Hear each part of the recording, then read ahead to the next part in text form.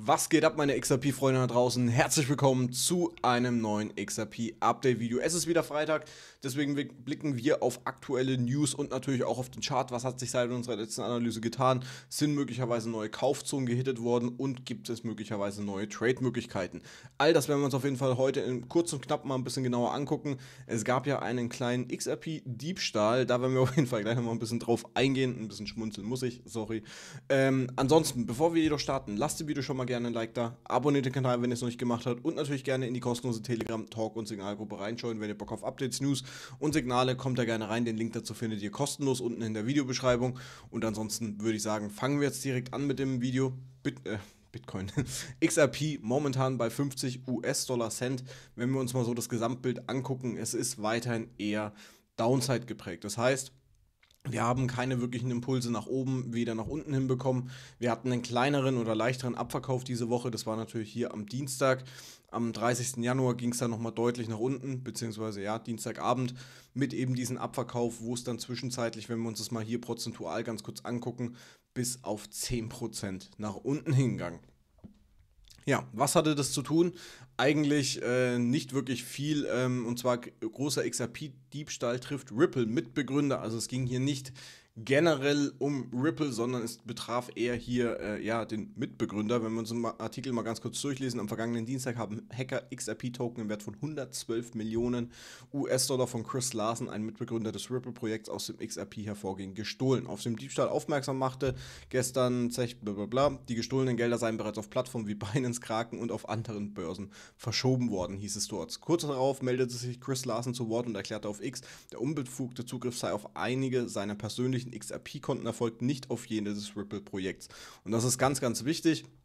Und das hat trotzdem aber für ein, weil natürlich auch, das auch durch die Telegram-Gruppen und überall durchgegangen ist, hieß es, okay, XRP-Hack, aber es war ja nicht Gesamt-XRP, was gehackt wurde, sondern nur von Chris Larsen. Trotzdem hat es für einen Impact gesorgt, wo wir uns ja eben gerade angeguckt haben, von 10% auf den Kurs und der Kurs hat sich auch nicht wirklich mehr richtig erholt. Jetzt kann man natürlich sagen, okay, äh, ja, Dump, alles schon gut, jetzt muss eigentlich die Erholung folgen, aber wenn wir uns mal, ihr könnt euch an diese blaue Linie hier erinnern von letzter Woche, das war genau unsere Ineffizienz.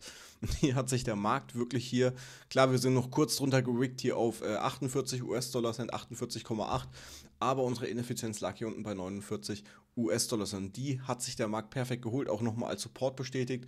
Und das war ja auch unsere ja, kurzfristige Prognose, dass wir hier dann eine Erholung sehen in diesem Preisbereich und von hier aus erstmal eine kleine Erholung nach oben hin sehen. Diese Erholung Klar, ist jetzt noch nicht vollständig hier eingepriesen, aber die Möglichkeit, dass wir hier wieder in Richtung 52 oder 53 US-Dollar gehen, ist auf jeden Fall im Bereich des Möglichen. Ändert aber nichts an der übergeordneten Tatsache, dass ich hier weiterhin eher bearish eingestellt werde. Egal, was momentan passiert, wir sind momentan hier in keinem bullischen Umfeld die Kurse kennen nur eine Richtung und das ist nach unten. Dann kommen noch so in Anführungszeichen Fake News durch eben einen Hack, der ja überhaupt nichts mit äh, XRP an sich zu tun hat. Das waren persönliche Konten, also kann man das natürlich nicht auf XRP schieben.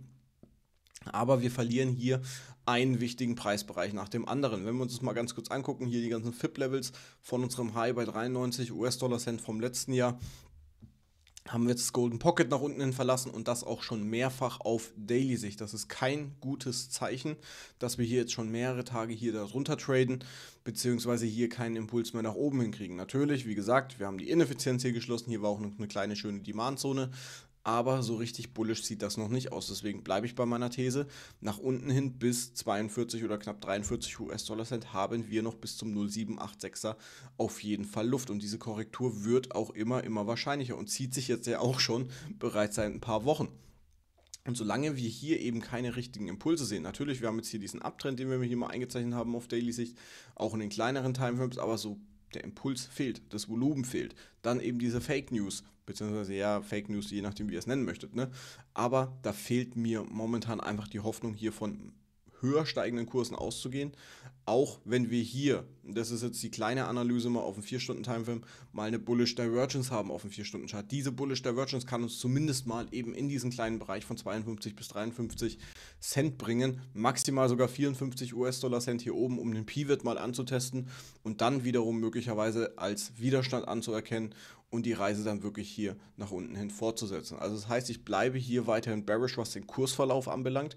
Es gibt hier wenn ihr einsteigen wollt, haben wir auch schon die letzten Monate immer wieder drüber gesprochen, dann wäre jetzt, beziehungsweise hier bei äh, 47 US-Dollar Cent eine Möglichkeit. Die zweite, und die werde ich persönlich dann auch nochmal nutzen, wird hier bei 42 US-Dollar Cent liegen. Und die dritte und letzte hier wieder bei 30. Das sind momentan so die Möglichkeiten, um XRP möglicherweise auch als Hodl nochmal nachzukaufen. Aber jetzt hier aggressiv zu akkumulieren, sehe ich momentan oder derzeit einfach keinen Anhaltspunkt. Es wird wahrscheinlich maximal oder frühestens im April eine Gerichtsentscheidung von der SEC geben, wenn nicht sogar auch erst im Mai, dann haben wir auch noch Bitcoin-Halving und sowas, dann kommt die ganze Euphorie möglicherweise noch zurück. Ne? Aber vorher müssen wir uns bei XRP einfach darauf einstellen, dass diese Kurse weiter nach unten hingehen. Außer es kommen noch irgendwelche plötzlichen Mega-Bomben-News und so, XRP übernimmt das Zahlungssystem oder was weiß ich, was, was ich nicht glaube. Deswegen müssen wir einfach realitäts treu, nah einfach bleiben und einfach so der Wahrheit ins Gesicht sehen. Die Chance, die wir schon seit Wochen, Monaten immer wieder besprechen, dass wir hier diesen Wick noch holen und dann erst wirklich eine Rallye sehen, die bleibt auf jeden Fall und da bleibe ich auch dabei, weil dieser Wick ist einfach zu groß, um nicht, ja, nicht beachtet zu werden. Und in den kleineren Timeframes kurzfristig haben wir ja, wie gesagt, darüber gesprochen. Erholungen oder Zwischenerholungen sind immer wieder möglich. Vor allem jetzt auch mit dieser 4 Stunden Bullish Divergence haben wir die Möglichkeit, hier in Richtung 54 US-Dollar Cent mal hoch zu steigen. Ob das dann hier nach oben hin durchbrochen wird und wir hier eine Bestätigung sehen, das wird sich dann zeigen. Aber das sind so die nächsten Widerstände, um dann die 60 Cent in Angriff zu nehmen. Das wäre die bullischste Variante. Sollten wir hier aber bereits, wie gesagt, rejected werden, dann gehe ich ganz stark davon aus, dass wir uns dann langsam aber sicher, also nicht in einem Atemzug, sondern wirklich langsam aber sicher in Richtung 42 US-Dollar Cent bewegen. Schreibt gerne mal eure XRP-Prognose äh, rein oder wie findet ihr diesen Hack? Sagt ihr, okay, nee, war eh Privatkonten oder sagt ihr, mh, hm, nee, hat schon ein bisschen das Vertrauen ein bisschen geschmälert bei XRP? Schreibt es gerne unten in die Kommentare rein und ansonsten würde ich sagen, hören wir uns auf jeden Fall nächste Woche zum nächsten XRP-Update-Video wieder. Ansonsten schönes Wochenende. Like da lassen, Abo da lassen, Telegram-Gruppe joinen und dann war es das von mir. Äh, lasst es euch gut gehen. Wir hören uns wieder. Bis dahin. Ciao, ciao und wie immer, stay.